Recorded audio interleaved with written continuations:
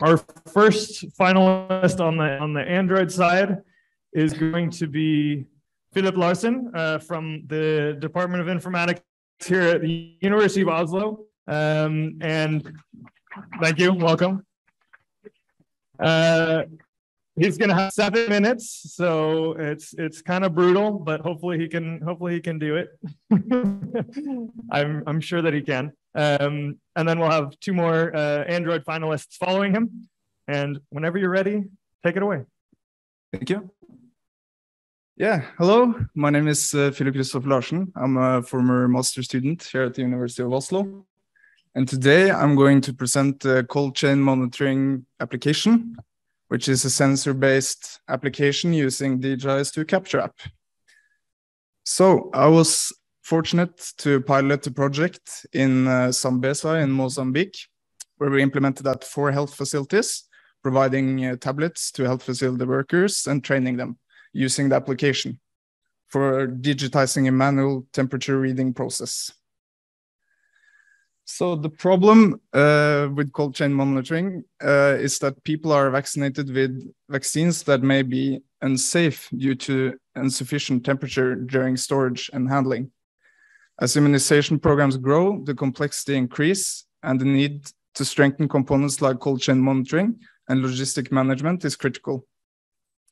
And uh, the unit cost of vaccines has increased from $1 per child in 2001 to about $28 in 2014.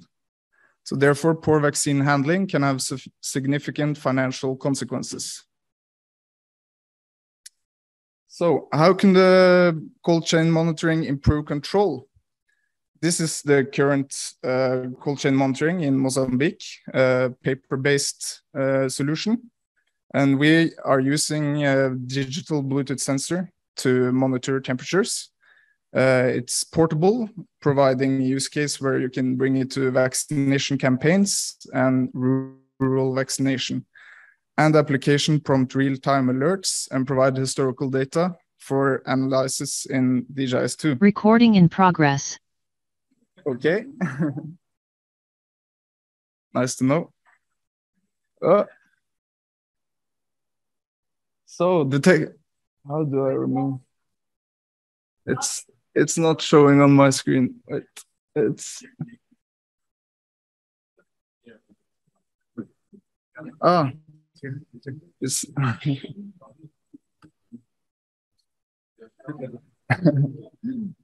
okay. Yeah, thirty seconds actually. The so the digital solution is uh, two parts. It's the hardware the Bluetooth sensor from Blue Maestro with a battery battery lifetime of two years. It costs $35, and when you purchase it, it's no subscription or additional costs uh, like other cold chain monitoring solutions, and it's fully waterproof. And then there's the application, uh, which is a custom Android application using the Android SDK and Tracker Capture to store temperature readings locally in a database providing local alerts, of course, functioning offline and uh, exporting of the uh, temperatures to a CSV file, just in case. So you can see the temperature flows from the sensor captured by the Android application. And then when you have internet connection, you can upload temperature readings to DHIS2 servers, providing uh, analysis for decision makers. And now I'm going to show a demo of the application.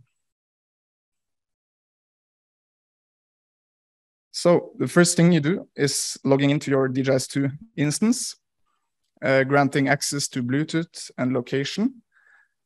And then you synchronize your tracker program, metadata and data. And you can start this. Selecting one, it automatically connects to it. And you can see the current temperature, minimum, maximum, average, last 24 hour, and you can collect uh, temperature stored in the local database. Uh, further, the graph will uh, update when new readings arrive. So the uh, application automatically listens to changes of temperature so you can capture. You can see the database, uh, the local database, which are going to, and you can uh, set threshold for the alerts with a minimum and maximum threshold. And if you're above or, or below, it will send a local notification. So health workers can uh, improve.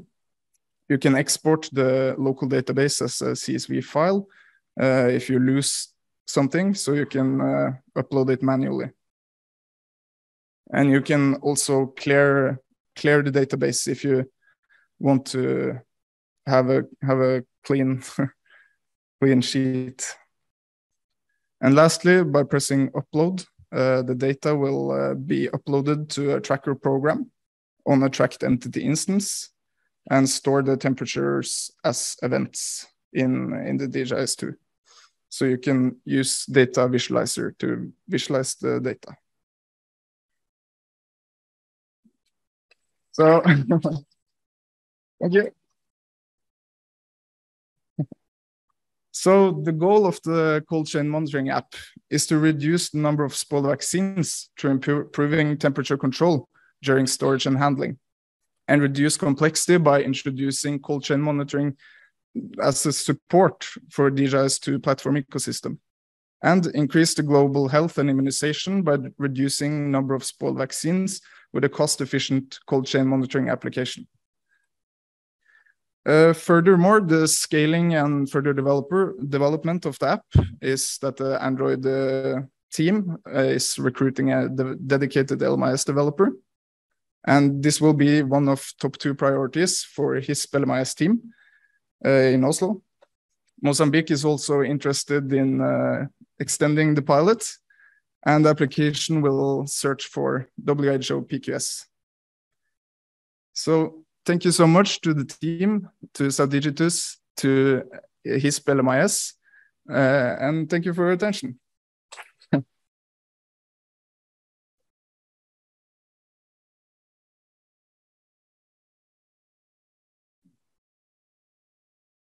Thank you very much. Uh, next up, we have, um, yeah, sorry. uh, next up, we have David from JSI uh, presenting another Android application.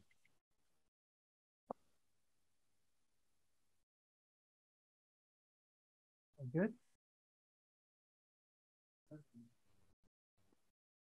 Good morning, good afternoon, good evening. I'm David Boone from JSI and the PMI Measure Malaria Project. I'm here to present a new tool, an Android app that we have designed to measure data quality at health facilities, uh, part, particularly those, the data in source documents, the client register, client encounter forms, etc. Those data that are then aggregated and reported up monthly according to precise uh, indicator definitions. This is often an aspect of data quality that is overlooked because it requires a visit to a health facility. So data quality assurance is important. I think we'll all agree, but let's face it, it's no fun. I like to think of it as like housekeeping. No one wants to do it, but if it doesn't get done, things get pretty funky. It's often done by large health facility assessments on a sample of health facilities, which are expensive, so they're infrequent. Sometimes this is done more, more routinely, for example, as part of health facility supervision. These efforts often lack coordination in terms of what is being assessed, how it's being assessed, and when, with little possibility of deriving global conclusions for improvements. Measure, at Measure Malaria, we created the MRDQA in Excel, and we've been using that for a couple of years in PMI countries to good effect. We took the decision to adapt this to Android to facilitate the use of the tool and aggregation of data to subnational and national levels. This way we can compare results at facilities, across districts, and over time to get a better idea of where the problems are occurring. The app comes with a DHIS2 configuration package, i.e. metadata and dashboards to facilitate the visualization of results. We think this more coordinated and standardized approach to routine data quality checks will yield more efficient targeting of resources for uh, data quality improvements. So let's look at the app. And this is a live demo, so bear with me. Uh, first, go to the menu. And we would need to configure the app for first time use. You can see here we are connected to a test server at JSI. Come over here, you can see the name of the data set that we're connected to on the DHIS2. You'll see throughout the app there are information icons. If we click twice, we can get more information about the screen we're looking at. And importantly, on this tab, we can see the supervisions that have been saved to DHIS2. And this permits us to standardize the approach across supervision teams, across facilities, and across this is using the same configuration of the app in the same supervisory period, and we can get comparable data. So you see here the two uh, configurations that we use for our pilot tests in Sierra Leone and Cote d'Ivoire uh, this month. If we go to here, we can see we can pull down health facilities and indicators from the DHIS2 and add them to the local device. For indicators and data elements as well. Here we can take a look at what's already on the local device in terms of facilities and indicators. So having configured the tool, we can go plan a supervision we can add a new one, or we can look at one that existing. We see the name and the, the reference period for the data quality checks. We can push that to DHIS2, or we can edit it. Here we can see the reference periods selected. We can select uh, reporting periods for accuracy checks, and we can select metrics for the supervision. We don't have to do them all every time. Okay, after having planned the supervision, we can go to data entry. We select our supervision. We select the health facility. And then we can enter data on completeness and timeliness, completeness of data sources and data elements. We can enter data on accuracy. This is the monthly values recounted compared to the value in the monthly report and also to the value in the DHIS2 for the same reporting period. This allows us to calculate a verification factor, which is an indicator of the accuracy of reporting. We can also add reasons for discrepancy. Why was there a discrepancy if one was found? We can also conduct cross checks, which is a comparison of different data sources with similar data, such as the malaria case register against the laboratory register. We expect that the data in there for the same period would cohere. And we can conduct consistency checks, consistency over time in terms of annual consistency, the current month data against the same month last year, or the current month data against the average of the three preceding months. We can also conduct a system assessment, which is a qualitative look at the reporting system at the facility. Are all the elements in place to produce good quality data or not? And then having entered all the data, we can go to our dashboard.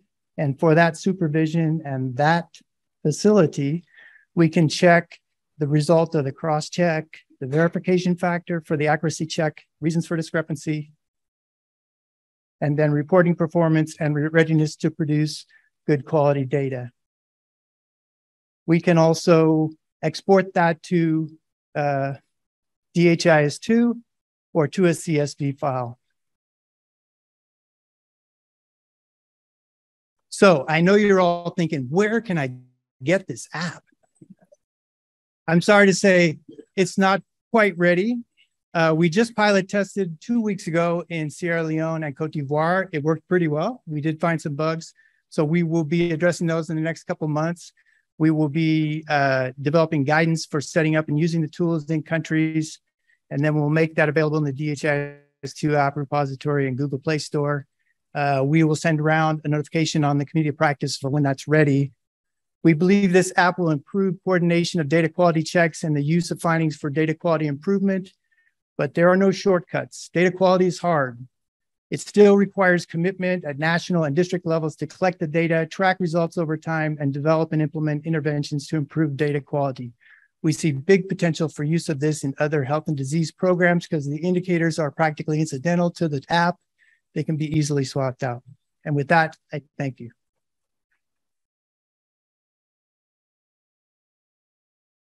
Thank you very much, David. Next up, we have Vincent Munda, Minda from the University of Dar es Salaam.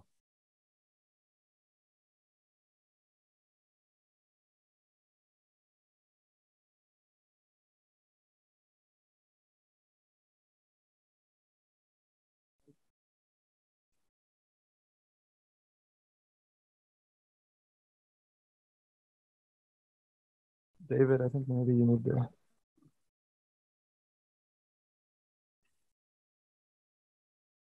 Good afternoon.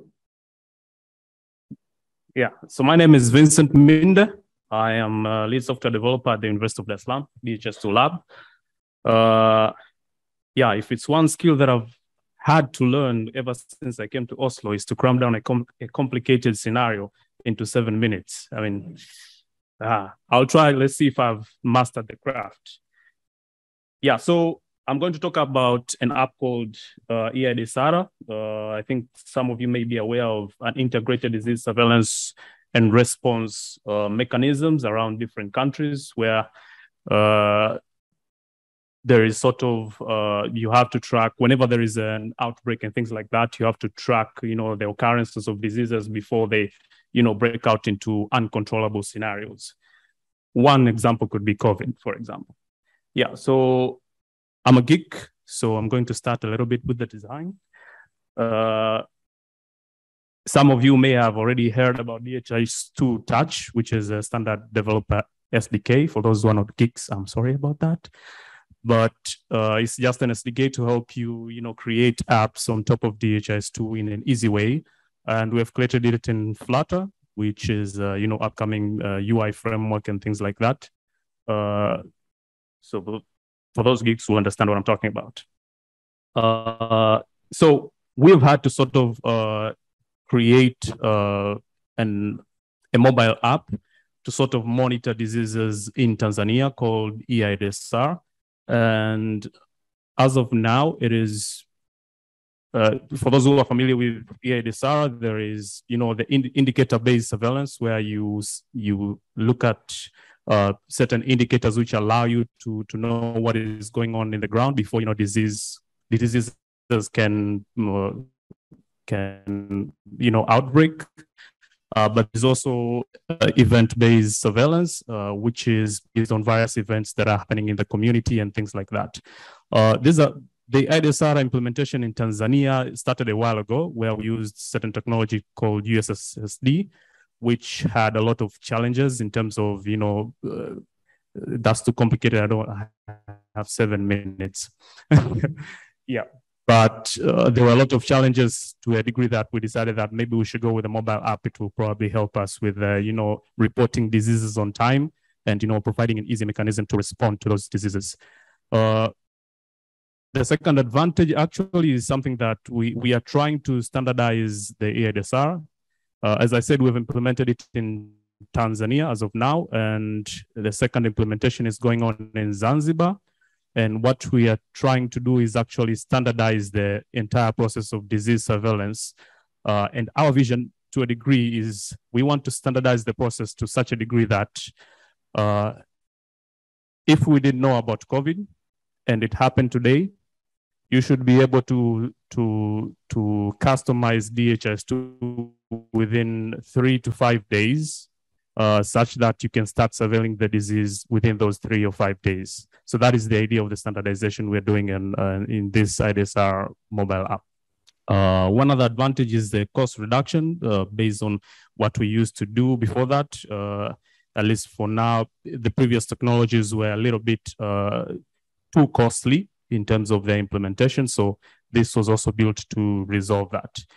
So, and as you can see there, there is also MCBS, which is basically malaria uh, case-based surveillance. Uh, this specific to malaria, which is just one implementation that has been done in Tanzania. But the idea is that if there is a malaria case that has happened, it will be reported through the IBS, which is the indicator-based surveillance. And then after that, there will be a trigger to follow up on such malaria cases so that they can, you know, ensure that a breakout uh, an outbreak does not happen or something like that. So yeah, um, yeah, so I was gonna go a little bit into the features, but uh, I would prefer to sort of, given the time being, I prefer to go directly to a simple demo. Uh, this is the app, and you also have to enter a code.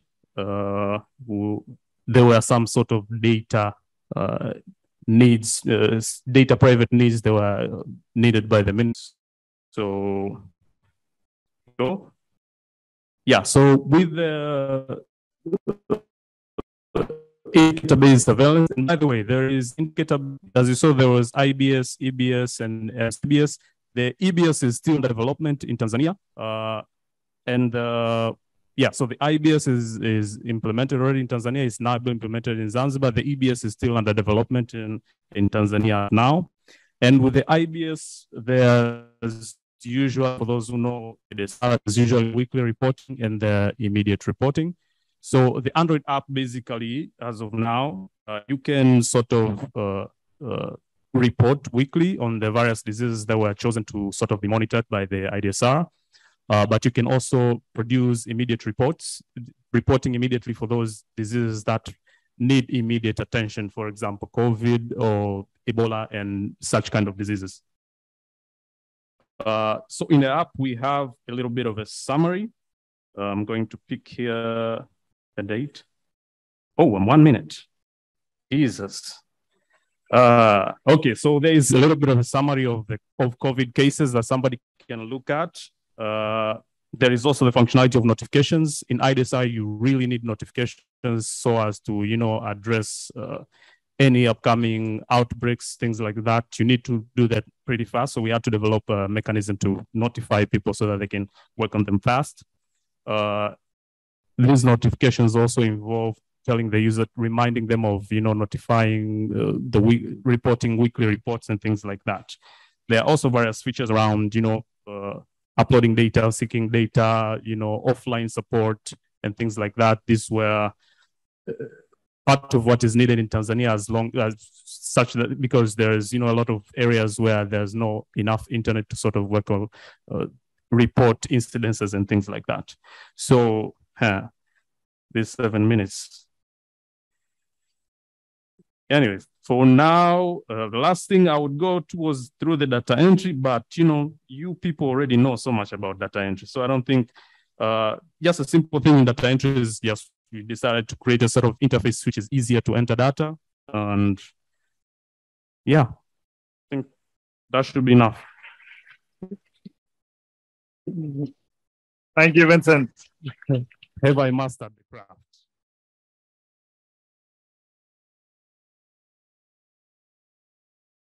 So thank you very much to all three of our Android finalists. Remember, you'll have to vote between those three for one of the winners, and then the next three web finalists will have a separate winner. So two different categories.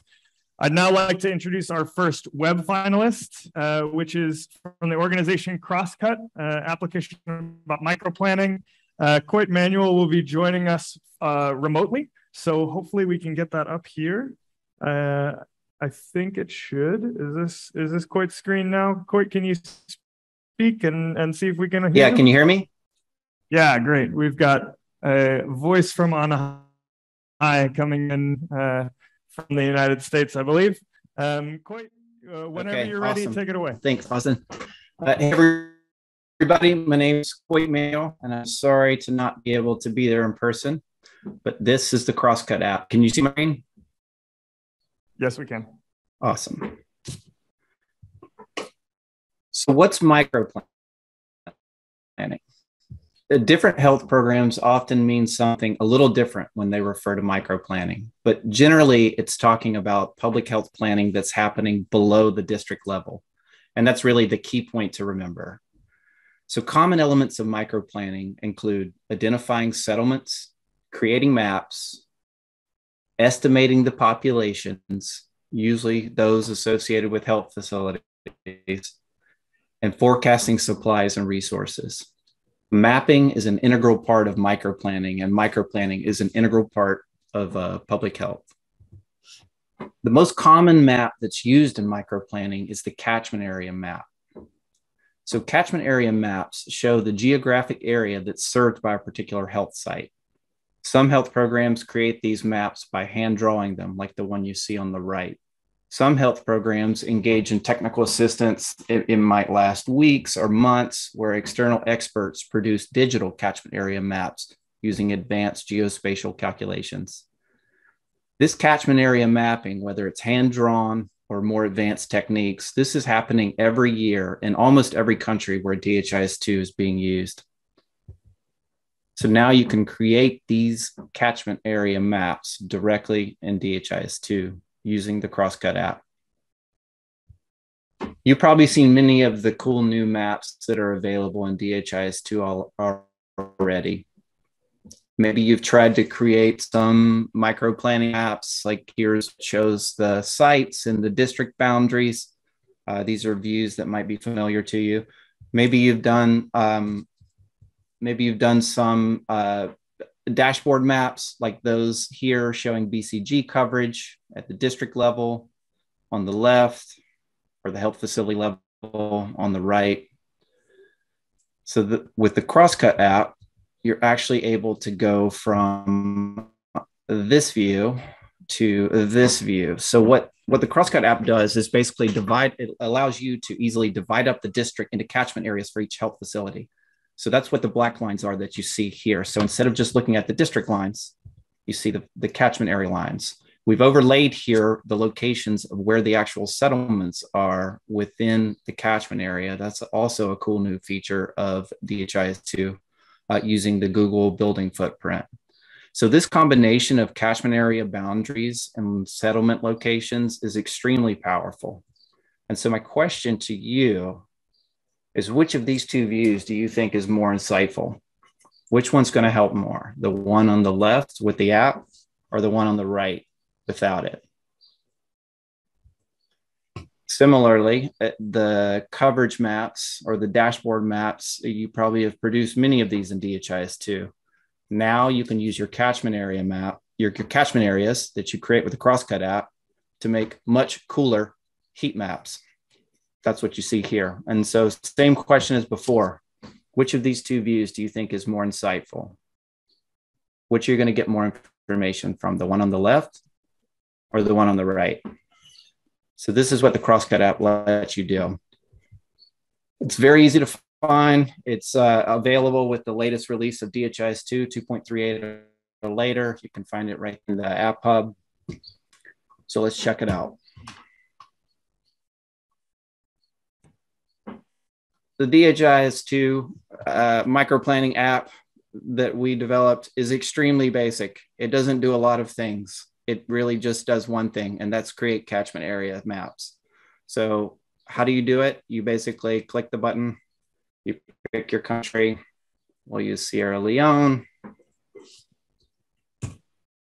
and do a test. Then you pick the level where your facilities are and click create. That's what's involved in creating the catchment area maps. So, part of our vision and our hope with this app is that we can rapidly speed up the time that it takes to produce these types of maps. So, right now, while we're waiting on this to run, because that's what's happening right now is it's literally producing the map. So, it's running hundreds of thousands of calculations. It's looking, it factors in uh, the land cover, the elevation, the road network, the location of rivers and roads to really try to produce accurate depictions of where the actual catchments are in the areas that are serviced by an individual health facility. So it's not just drawing a line across the middle of a mountain, it's factoring in the mountain to the travel time and actually trying to calculate something a little more accurate. So, what that also lets you do is get a better estimate of the target population for that particular area. So, there you see that it's run. And then to push it in the DHIS do, all you do is push publish. Our DHIS2 app is available today on the App Hub with 2.38. You can also come to our website, check out the full featured app, uh, which includes travel time heat maps, printable map downloads, and boundary adjustments and more. Uh, bound, you know, I've got a little time looking at the clock here, so I'll mention the boundary adjustments.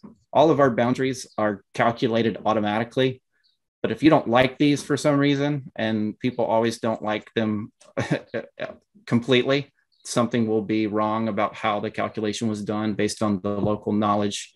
Um, you are actually able to easily edit these without any need to for any sort of you don't need to know QGIS, you don't need any sort of advanced geospatial analytical ability. You just need the ability to kind of paint the lines differently. So that's not currently available in the DHIS2 app. That's available on our website, but the two are synced. So you stay in alignment at all times. So we really hope that you all are able to check it out and try it out. And I really appreciate the opportunity to demo. Thanks. Awesome. Thank you, Coit. And I'm glad that we can see your face now, Coit, so so you can wave to everyone in in your last 30 seconds. All straight, right. Steaming straight from my attic here. ICT.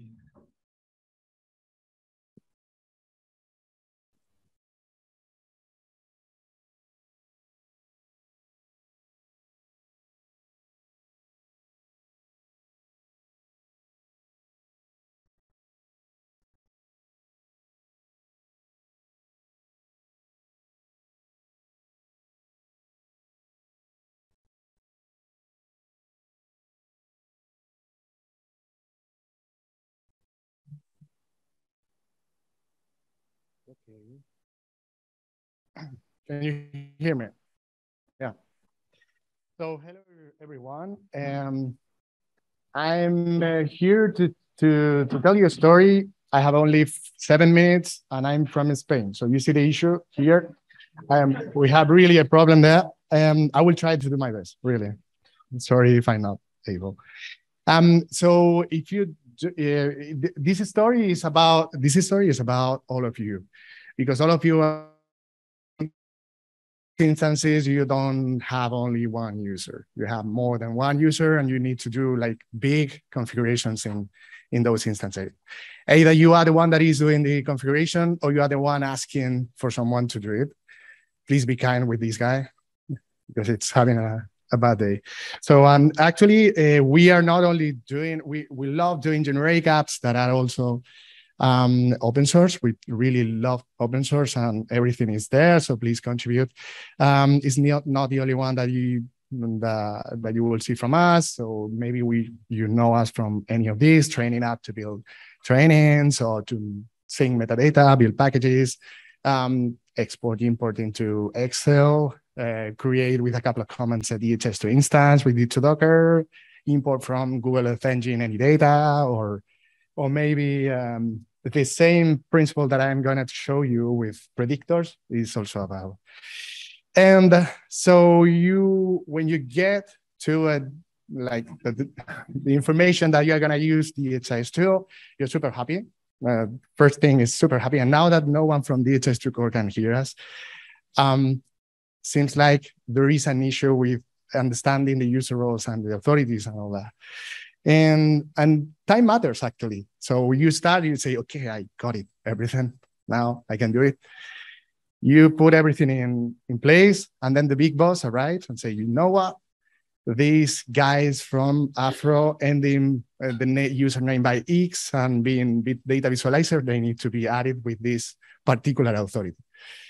And that happens and that keep happening and you get a mess in your DHIS2. And actually, that's a, a big problem for many organizations. You, you, we have seen uh, many different user configuration paradigms, like uh, people that like to use user role as a user profile, people that like to use user role as a group of authorities, no matter which one you are using. Maybe we are missing in DHIS2 something called user profile or something like that um, like to apply template for one user to another. Uh, actually, this is what one of the things that you can do with user extended app. I'm gonna try to, I feel lucky, so I'm gonna try to uh, do a demo and uh, yeah. And I don't have a session. Okay, so when you access user extended app, actually what you get is a list of your users. No, is you are, you are trying to operate on your users. First thing that you want to do is, okay, let's try to filter to locate my user. So uh, maybe you want to look for the IT guys, and so you're filtering real time. Um, you might want to look for the managers, um, anything you can. You can, uh, by clicking here, uh, decide what is shown in uh, which columns are shown in um, in the uh, what in the list. So you can add, you can remove, um, whatever you you need. Okay. Um, but yeah, sometimes you you don't know the username. You need to look for like apply a more complex filter. We have thought on that. So actually, you can filter by the active users, you can filter by role, group, you can filter by the organization unit. So the, the idea of locating a user is more, more or less something that we have found in the past. Um, we understand you. And, uh, and then in user extended app, you have two type, two different type of actions. I, I'm not going to explain all of them because I, I think, wow, um, I'm going to explain only a couple of them. And actually, you can do single actions and you can do bulk actions. So the single actions are almost anything that you can do on a normal edition of a user, like changing the properties and enabling, disabling, removing, anything like that. Something I want to focus your attention on is this copying user. So sometimes you have a user template and you want to propagate that user template into many users. So just take the template, you say copy in user, you decide which user will be applied with that template, and uh, for example, all these, and you decide which strategy you want to use, like merging or replacing. You want those users to become a data visualizer, or you want those users to just be a data visualizer. Um, uh, and then you can decide if uh, it is user role, groups, uh, whatever that you are um, gonna be copying. And then sometimes uh, you also want to replicate just the user. So you can do something like, okay, I'm going to replicate three times that user, but it's not exactly the same user that I want. So I want to change the organization unit, or I want to change the um, organization unit for visualization, or anything, the username, whatever you want, what you want to replicate. Okay, and then immediately you get a copy or three copies or n, n copies. And that's fine. Um, but it becomes even funnier when you you execute a bulk action. And there are two bulk actions I want to show you. One is that you can edit on a table. So actually you can click on edit and you see a table and you can change property for all those users that you have selected. One minute, okay. And uh, very quickly, I hope I will have the time. Um, the latest thing, and that's one of the, uh, good ideas of oh, we've seen um, on user extended app is that you can actually export that into a CSV. Um, you can open that CSV. Um, okay. You are seeing exactly the same columns that you are uh, seeing in the, in the web app. And you can even add more properties like I want to change the password. If that property exists in the user, that will be changed actually. You can change whatever you, however you want. There is a validation when you upload it back and, and will tell you if that is okay or not. And I'm gonna very quickly show you, um, yeah, then save. And, and then you can import it back by selecting the file. You get an intermediate screen where you still have a last say, like, okay, there are validations, all the validations from DHIS2 are applied on the fly. So um, all those users exist already. So I do I want to override them and then change the configuration, and you can decide to just create new new users. And that's it. Thank you so much.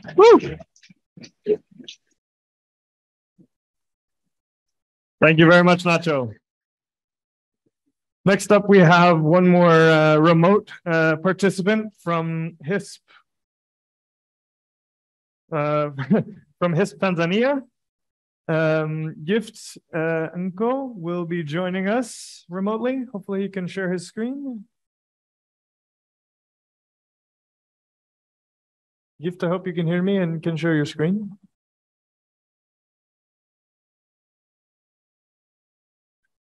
I'm surprised this is the first technical difficulty. There we go.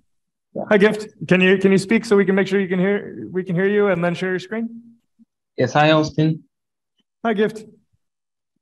Okay. Uh, yeah, I'm just okay. Oops. Yeah, so let me share my screen and please tell me if you can see it. Can't see it yet. There we go. Perfect. Okay. Um, yes. Um, sorry. Yes. Let me just finish up setting up.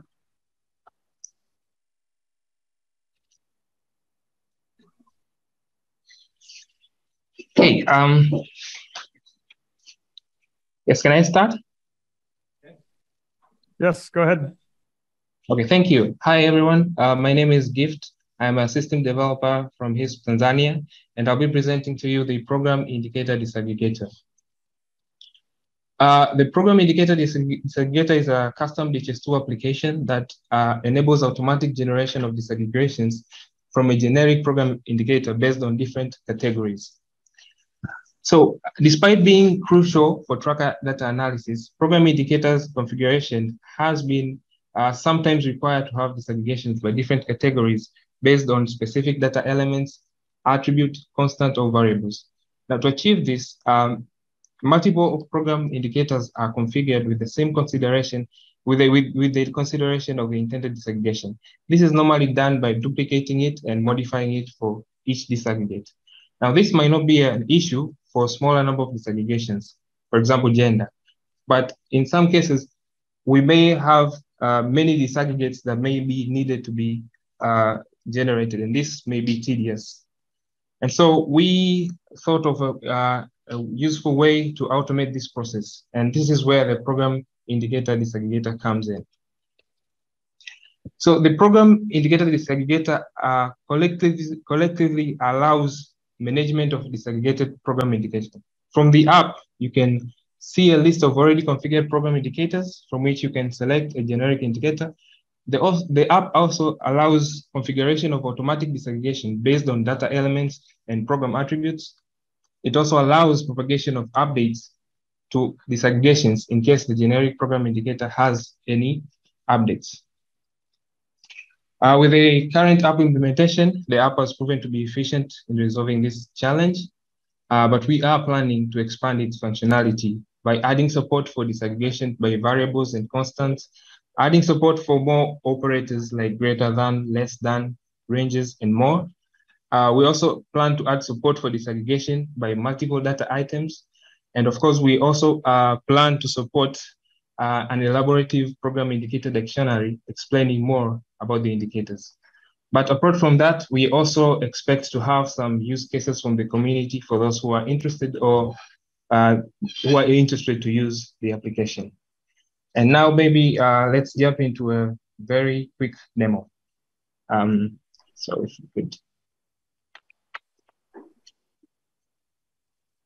So um, the uh, the app can be accessed uh, through the uh, app menu in DHS2, and it's named Program Indicator Disaggregator. And when opened, it will show you a list of program indicators um, that are already configured in the system. And here is where you can select actually a generic program indicator from which to uh, disaggregate from. So for example, in our case, we're going to uh, see an example of a COVID case uh, uh disaggregated by different outcomes. So for example, we can have the, we can search the surveillance, and then we can now choose the COVID case um, indicator. From here now, uh, we'll see the, the, the chosen program indicator along with uh, different explanations. Uh, and then from this page also, it's where you can add your uh, disaggregation configuration. And here, uh, basically it is done in three steps. So first of all, you choose what you disaggregate by. And so, uh, for example, in our case, we want to disaggregate by data element. And then you choose the program stage in which you want to disaggregate from. And of course, the data specific data elements. The second stage, basically you choose um, what values should be disaggregated uh, for this specific uh, indicator. So if, for example, in our case, this data element has uh, option sets tied to it, so automatically your option sets will be uh, shown here for you to choose. And, and in case we, you chose a data element that has, is probably a free text, you can specify a custom value. So in our case, we're going to uh, select all. And then the, the last step is basically to choose a name prefix that will be appended uh, on the name and the short name for the generated disaggregation uh, program indicators. So maybe now, case we can just say outcome. Yes, so after that, you just simply uh, click save and just that like that on the fly, you have now five new um, disaggregations for, the, for these indicators and you can actually see them here. Now let's see uh, this, uh, this uh, disaggregations in actions. So if we open our data visualizer and navigate to program indicators and then select our program, we can actually see now COVID cases has uh, these disaggregations that we generated. And um, yeah, we can also select a period that has data so I can see. So let's choose uh, this year.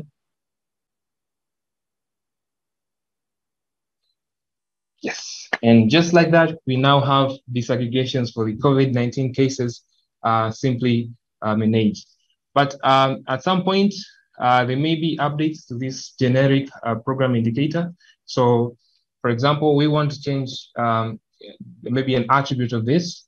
Uh, we can simply, let's say we're changing the short name to case, and then if we save, then if we move back to our application and refresh on this, um, so basically what will happen, you get a notification that the generic indicator has been updated. And if necessary, you may need to propagate those updates to the disaggregations that have been generated.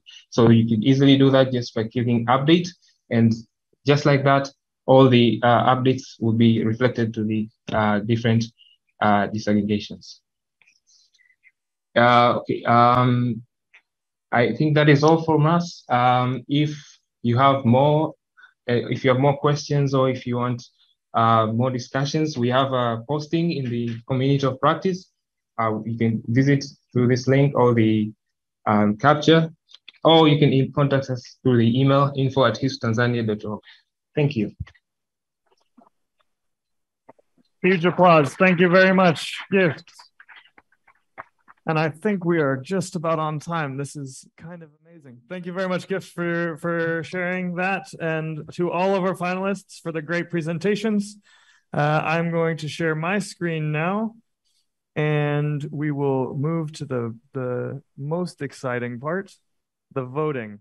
So the, the stakes are high. Um, this will this will be automatically filled in with the uh, the link in just a minute because I have a great team working with me.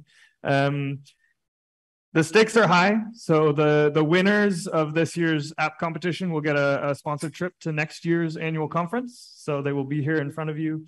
Uh, and, and, you can talk with them and, and they can they can experience the, the the conference atmosphere um, and they'll also get lifetime recognition on the community of practice uh, with a badge um, that has been designed by, by Gassim, our community manager. Um, uh, Austin, this, will, this, link will actually fill in. Uh, Herman, you're you're on you're online, right? You're trying to. Yeah, yeah yes. I need I need uh, edit access to the doc. Sorry. Oh, I should have given it to you. Okay. Recording stopped. Recording in progress. I think you should have it, sir.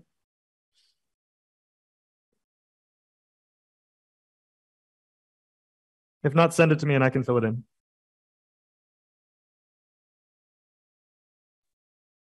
Um, there you go. Should be there. Uh, there we. Uh, okay, it's on the. It's on this one here. That's okay. fine. Okay, great. Um, I also wanted to mention. So on the right side of the screen here, you have a link. Uh, three B O F capital A N L. Uh, that is where you need to go to vote.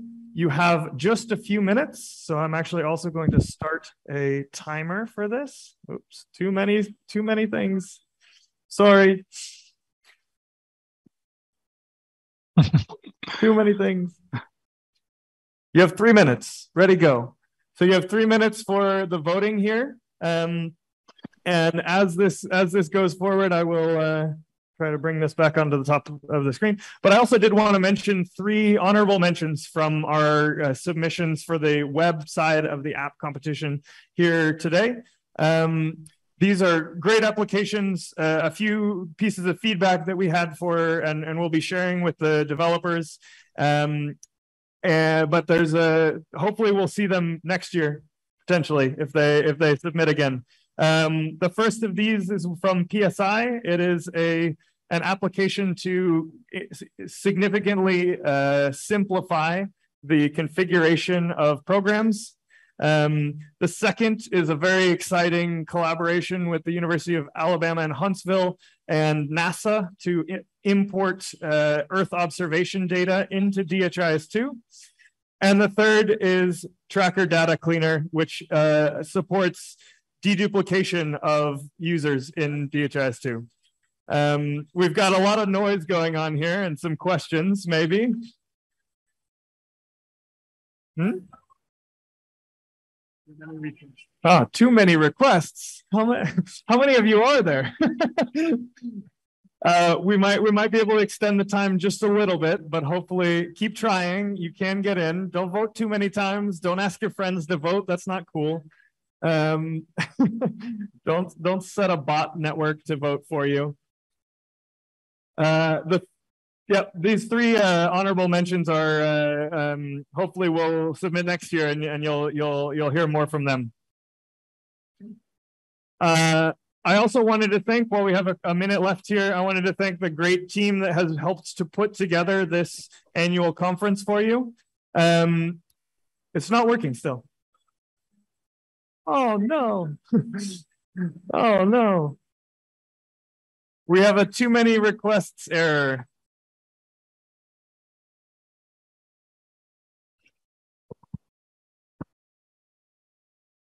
Votes are coming, but votes are coming. So the uh, the voting is taking place on the DHIS2 community of practice, and if you're in the Zoom meeting, you'll see that Gassim has posted the link to the COP thread there where you can vote. Can I can I put that on the screen? We are voting through the community of practice. Uh, if you are on the COP right now, you can find the thread to vote. And if you're on the Zoom meeting for this session, you can also see that Gassim has posted the link in the chat there. Oh, the community has too many requests. I know, we're crashing the community. oh, it's so you should be able to find it on the community of practice. Don't refresh too many times; you might break everything for everyone. Um, but we do have lots of votes coming in, so thank you all for for those of you who have voted. Keep trying if you haven't gotten in yet; it will come through. Uh, wanted to thank again the the team that has been working with me to put on this annual conference. So I want to let's let's give a round of applause to, to this team reviewing applications, communicating with applicants and finalists, and, and putting on the show here tonight, uh, which I have one more minute before I have to turn over the stage to uh, to someone else. So we should have, uh, hopefully every, most people have gotten in to vote. No, no. All right, we'll still, we'll still pause for just a, another minute. Keep trying. Please keep trying. I think we might we might need some uh, some new servers for this community of practice. Uh, you have to tell me when you want to stop the voting. And, uh, yeah, yeah. Um,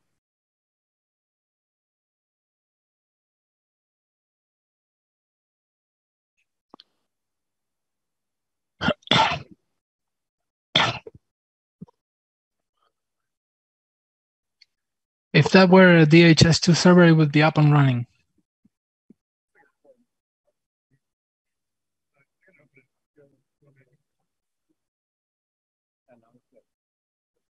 So we're reopening the voting just in case you haven't gotten in yet. Please try again. Apologies for the technical difficulties. I think we should probably do some horizontal scaling and load balancing on this community of practice for next year. This is going to be the most controversial result ever, I think. Do you want to hand out these we're waiting? Uh, in the meantime, one of one of our uh, the developers on the core team made these really awesome uh, DHIS2 magnets, 3D printed DHIS2 magnets uh, that are going to be uh, prizes for all of our finalists. Um, hopefully, we can get them to the finalists that aren't here today. But Um, for those of you who are here, if you could come up here and and collect your your uh, finalist prize of these DHIS2 magnets, and let, let me know how many people are on your team if you want a few of them. We have we have a few extras. Yeah, thank you. Yeah, five of them. Right, yeah, sure. One more, one more. Wait, wait, one more. How many do you want? Okay. Uh, you can take maybe these for now. Oh, yeah. Thank you. How many, how many do you have? Parallel magnets for DHS for magnets. How many are on your team? Yeah, okay, great.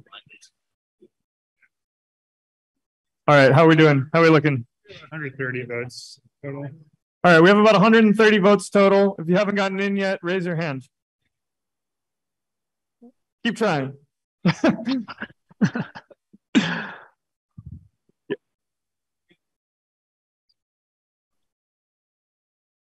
ah, good question. Uh, or good, good suggestion. So if you if you get off of the conference Wi-Fi, if you have a phone and you have a mobile internet connection, that will let you get in. Uh, because it's coming, and so everybody that it thinks we're hackers that are trying to hack from one one place and, Hmm. and overwhelm the system, which maybe we are. I don't know. Um, so if you if you having trouble getting in and you have access to a data um, a mobile data connection, please try that. We're gonna give it another 30 seconds and then I'm gonna turn over the stage. So try to get in if you can. You want to do dramatic countdown? Um, Austin, Austin, can you hear me? Hello?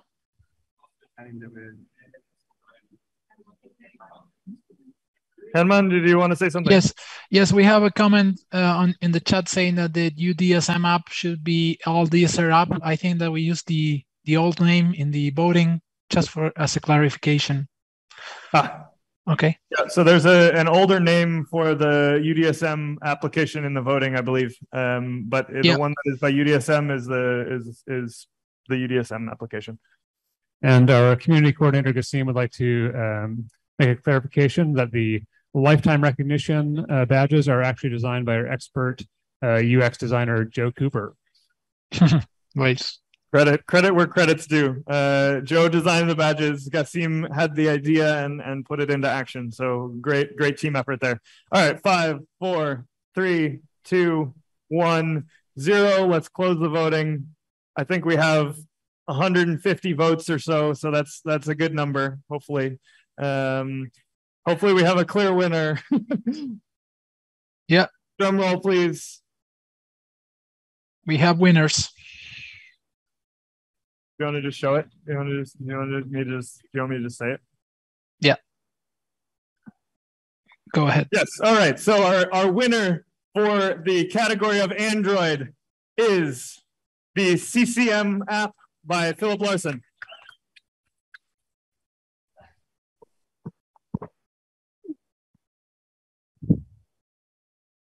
And that's not all.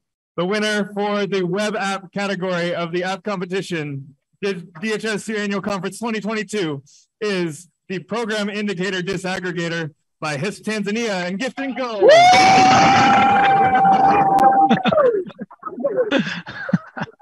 Again, thank you very much to all of our people that submitted applications, all of our finalists, honorable mentions, and the team. Great work. And thank you all for putting up with terrible voting experience. and now we will turn it over to the closing of the DHIS2 Annual Conference 2022. Thank you all very much.